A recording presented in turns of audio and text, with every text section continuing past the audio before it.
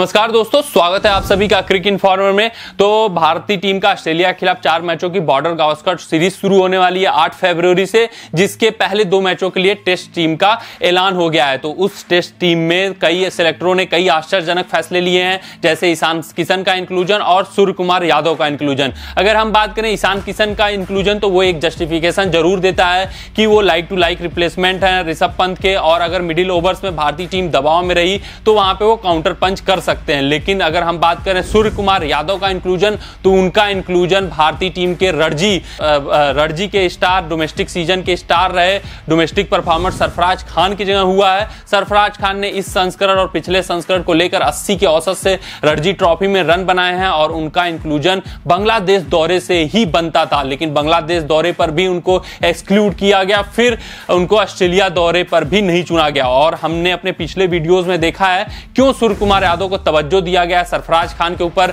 जैसे कई फैक्ट थे, जैसे उनको स्वीप शॉट खेलना, काउंटर पंच करना और स्पिन को वो अच्छे से वेल प्रूवन प्लेयर हैं इंटरनेशनल का दबाव झेलना जानते हैं और स्पिन को अच्छे से खेल सकते हैं। तो ये सब कुछ फैक्टर्स थे जिसपे सूर्य कुमार यादव को तवज्जो दिया गया पहले दो टेस्ट मैचों के लिए। लेकिन सरफराज खान का सिलेक्शन इस स्क्वाड टेस्ट स्क्वाड में बनता था क्योंकि उन्होंने रणजी ट्रॉफी में ज़बरदस्त प्रदर्शन किया है।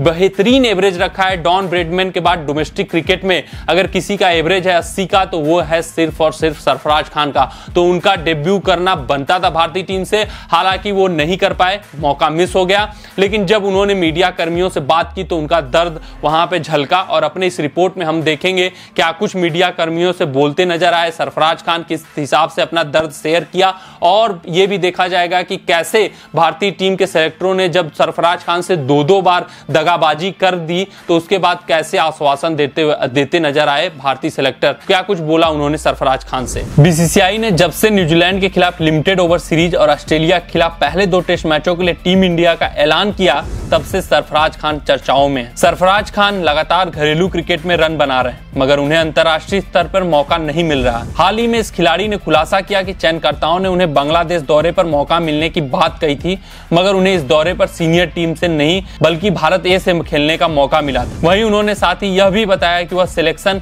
कमेटी के चीफ चेतन शर्मा से भी मुलाकात की। टाइम्स ऑफ़ इंडिया से बात करते हुए सरफराज ने कहा, बेंगलोर में रणजी ट्रॉफी के फाइनल के दौरान जब मैंने शतक बनाया तो मैं चयनकर्ताओं से मिला। मुझे बताया गया कि आपको बांग्लादेश में मौका मिलेगा। उसके लिए तैयार रहें हाल ही में मैं चेतन शर्मा सर से मिला। जब हम मुंबई के होटल में चेक इन कर रहे थे, उन्होंने मुझे निराश न होने के लिए कहा और कहा कि मेरा समय आएगा। अच्छी चीज़ें होने में समय लगता है। आप बहुत करीब हैं। आपको अपना मौका मिलेगा।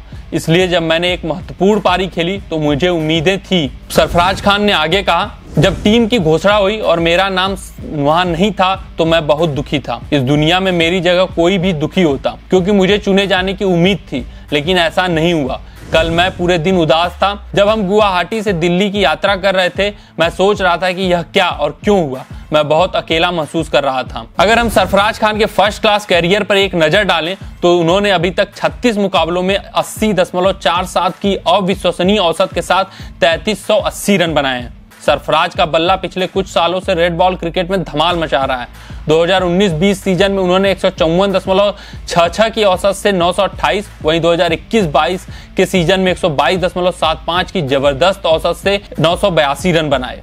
तो आज के अपने इस रिपोर्ट में हमने देखा कि क्या कुछ चयनकर्ताओं ने सरफराज खान से वादे किए, लेकिन उन वादों पर खड़े नहीं उतरे और बहुत निराश महसूस कर रहे हैं सरफराज खान इस वक्त सिलेक्शन न होने पर इंडिया टीम पर, इंडिया टीम में। लेकिन ये बात तो ज़रूर सच है कि अच्छी चीज़ें होने में समय लगती हैं और सरफराज खान को अपना हौसला नहीं खोना चाहिए, हौसला बरकरार करके आगे के कुछ मैचों में परफॉर्म करना चाहिए, क्योंकि ज़रूर उनका सिलेक्शन अब कुछ ही सीरीज़ बाद होना तय है। या यूँ कहें, अगर दो टेस्ट मैचों में सूर्य कुमार यादव खिलाए गए मगर परफॉर्म नहीं कर पाए तो फिर क्या अगले दो टेस्ट मैचों में क्या पता सेलेक्टर्स उनको चुन ले। तो उनको अपना हौसला गिराना नहीं चाहिए, अपना, अपने हौसले को बरकरार रखकर परफॉर्मेंस देना जारी रखना चाहिए। तो आज के अपने इस रिपोर्ट में बस इतना ही। आप सभी लोग अपना कोविड से ध्यान रखें, सुरक्षित रहें, स्वस्थ रहें। जय हिंद, जय भारत।